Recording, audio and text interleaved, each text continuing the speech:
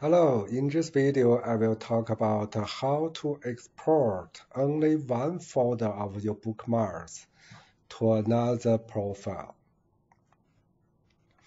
To do that, you need to open the uh, source profile and then you need to open the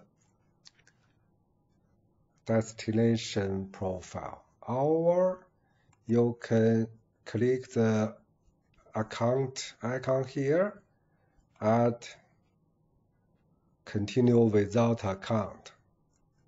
Okay? Then give it a name. Random name. Click ok.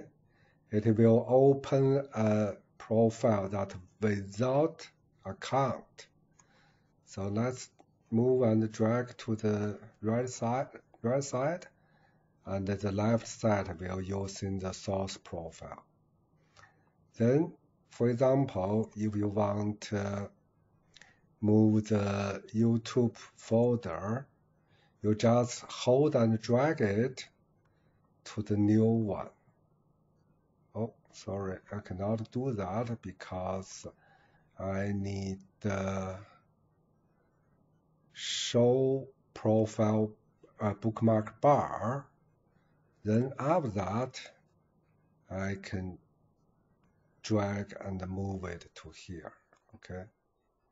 So now we success moved only this folder to new profile. Then you can export from here.